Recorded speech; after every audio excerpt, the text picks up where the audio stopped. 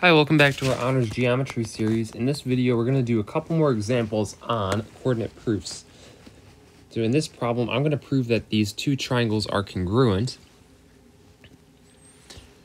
And I gave myself a hint here. What is point F? How can I show that with coordinates?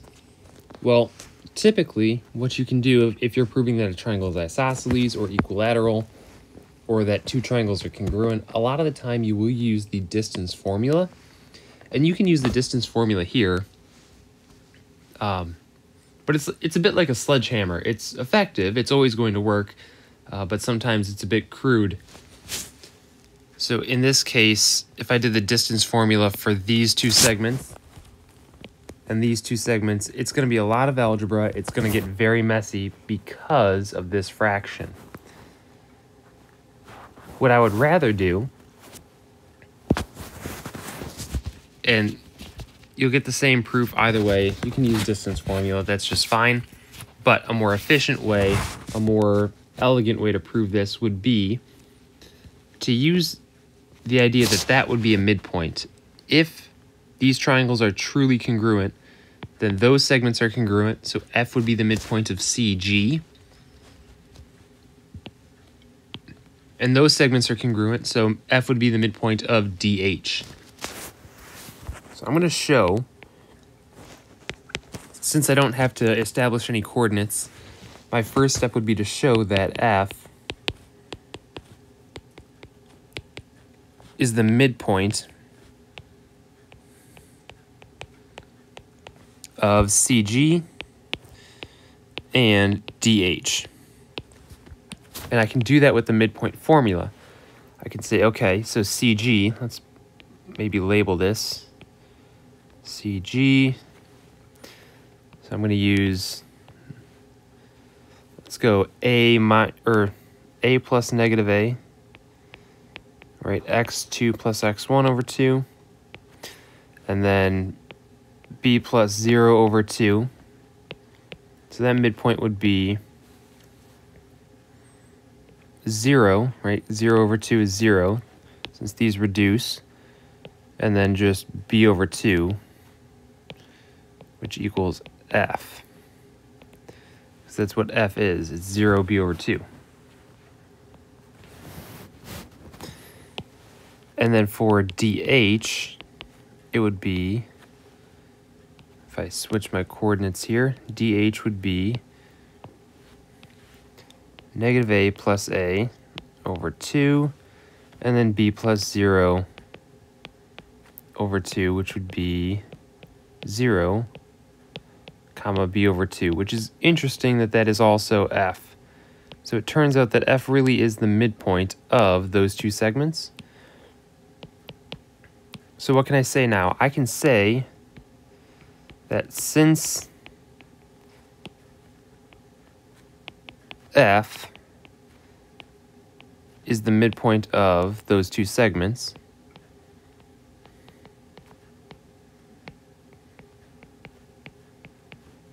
CG, and DH.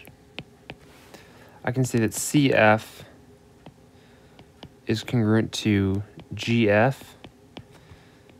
and DF is congruent to HF by the definition of midpoint.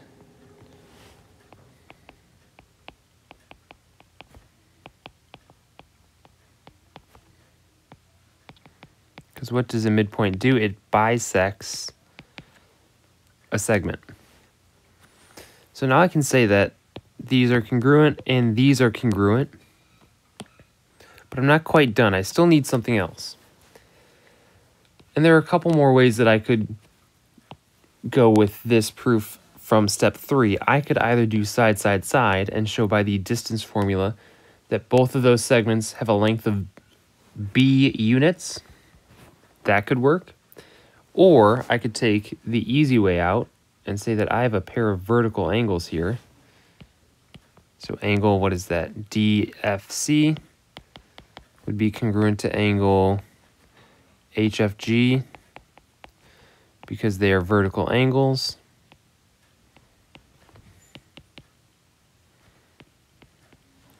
And then your last step, you've got side angle side congruence.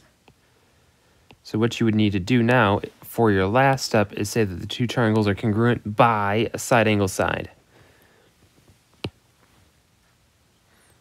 And our last coordinate proof here, I've got a quadrilateral ABCD with coordinates A, and 1, 2, 3, 4, 5. 1, 2, 3, 4. So AB. And then 2, 8 is C. And then negative 2, 1, 2, 3, 4, 5 is D. And I want to prove that this is a square.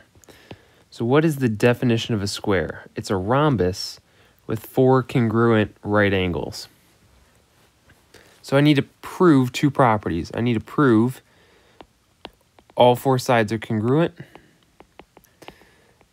And I need to prove that I have four right angles.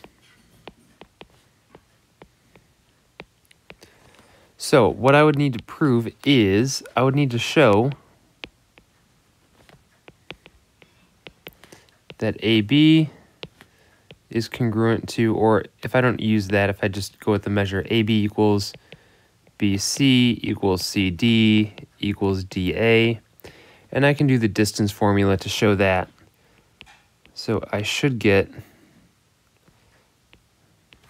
you know, if I did AB, what is that, 5 minus 1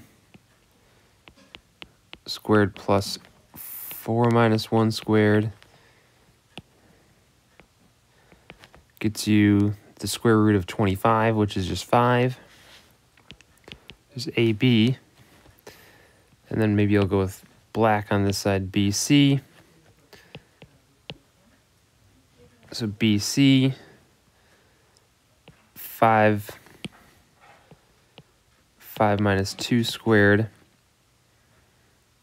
plus 4 minus 8 squared. And please don't be fooled by the negatives. So this would be 3 squared plus negative 4 squared.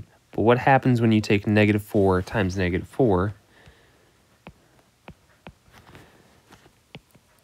You get the square root of 25 again, which is just 5.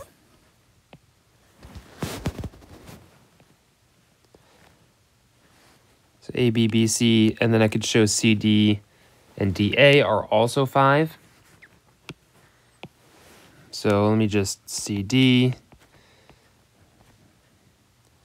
and then show that that equals 5 and DA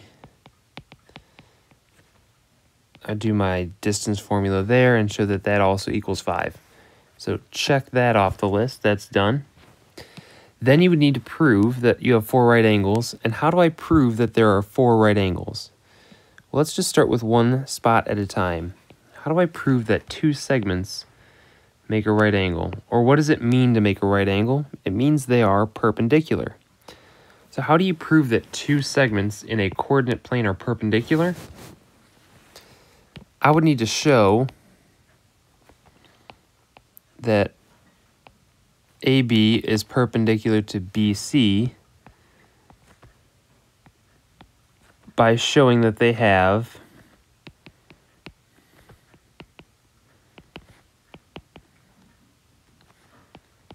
opposite reciprocal slopes.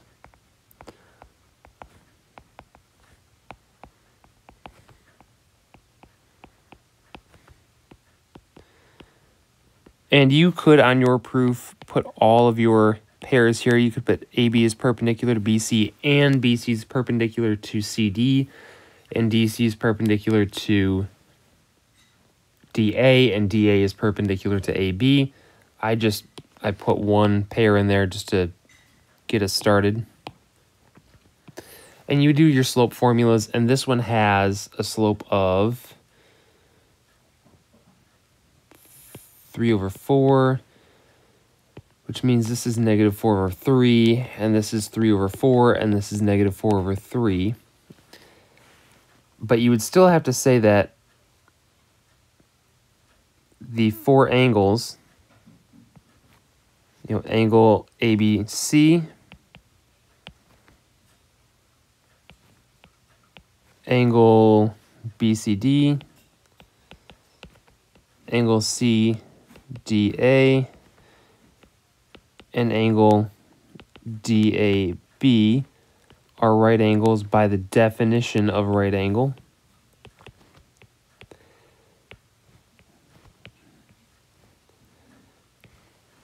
And then you would have four right angles, you'd have all sides are congruent, and then you could say, you know, therefore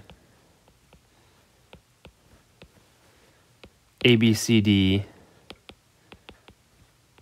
is a square by definition of square. And then your proof would be done. So those are two quick proofs, examples of our coordinate proofs. Um, I would not expect to see one quite that long and arduous on a quiz or test, but definitely on a homework problem. Let me know what questions you've got, and I will see you soon.